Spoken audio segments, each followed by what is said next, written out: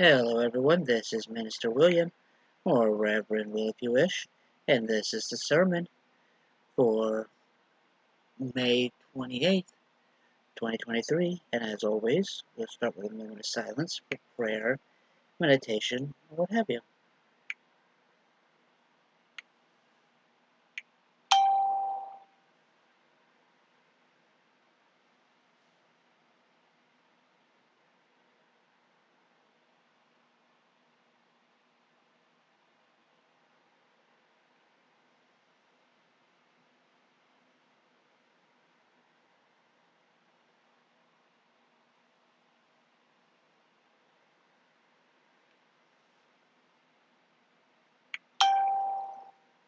All right, thank you. This week's sermon will be called The Power of Silence, and it can be found on alltimeshortstories.com.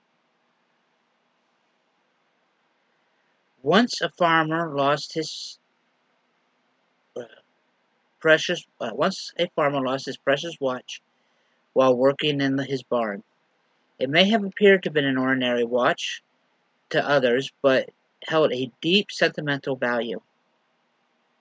After searching high and low among the hay for a long time, the old farmer got exhausted.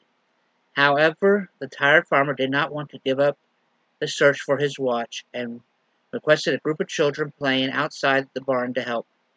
He promised an attractive reward for the person who could find his beloved watch.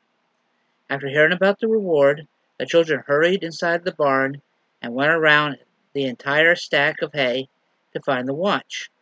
After a long time of looking for the watch in the hay, some of the children got tired and gave up. The number of children looking for the watch slowly decreased, and only a few tired children were left. The farmer gave up all his hope of finding his watch and called off the search. When the farmer was closing the door, a little boy came out came up to him and requested the farmer give him another chance. The farmer did not want to miss any chance of finding the watch, so he gave the little boy he let the little boy in the barn. After a while the little boy came out with the watch in hand.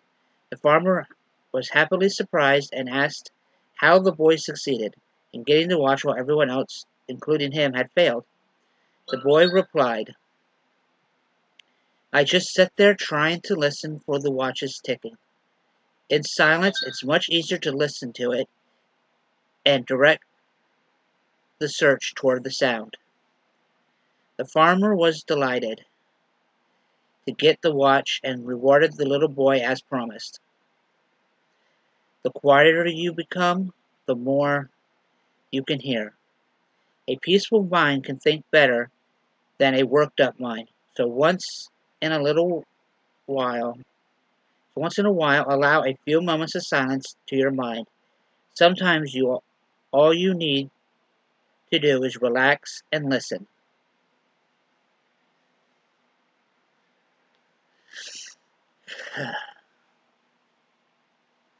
this is something that uh, I've been trying to do as of late. Um, lately, it has been a very stressful uh, month or two where I have actually been missing my days of unemployment.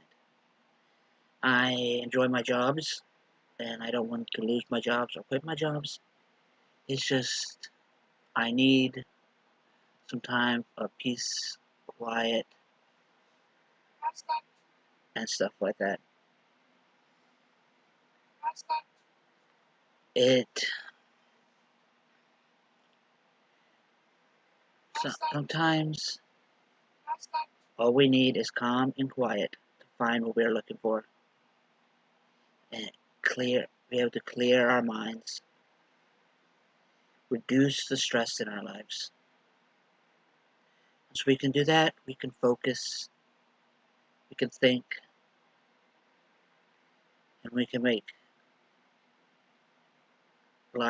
our life and others better so when you're stressed try to find a silent place some place that makes you feel relaxed.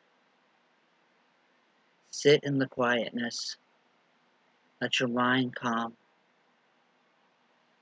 Just focus on everything quiet around you. You'll find peace, quiet, and calm the storm in your head.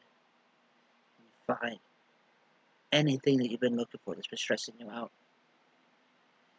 But until next time, remember, when we all come together, the possibilities are endless. I'll see you next week. Thank you, everyone. Oh, one thing. Since uh, next month is Pride Month, I will be wearing my new stole. I think that's what it's called. It, it is uh, one that is uh, specifically for Pride Month with every color of the rainbow. So I will start uh, my starting on my next sermon for all the month of June. I will be wearing uh, this stole. I'll return to my blue one afterwards. But until then, remember, we all come together. The possibility is endless. And I'll see you next week.